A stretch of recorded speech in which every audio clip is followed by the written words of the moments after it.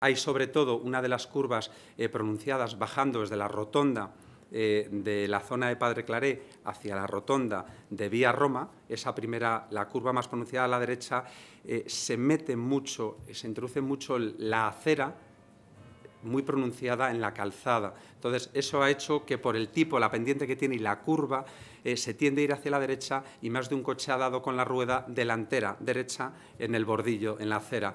Eso ha sido mm, mm, medianamente frecuente y tras las quejas recibidas es lo que hace que ahora se produzca ese modificado para que, eh, bueno, eh, no haya ese problema ¿no? con la circulación en la calle San Gabriel. Se va a aprovechar no solo esa, sino otra que hay justo enfrente, un poco más abajo. Ya se va, digamos, a mm, hacer una revisión de toda la calle tras los informes que ha habido también pertinentes eh, de tráfico y movilidad. ¿no?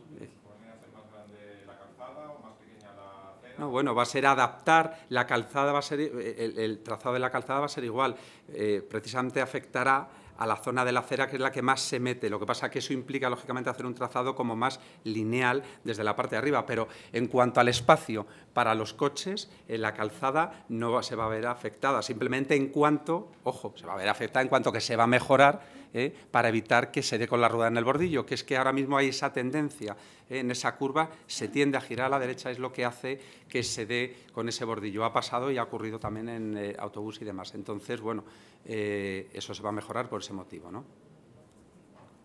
es una reparación de, la, de la, acera para evitar ese problema que origina la calzada.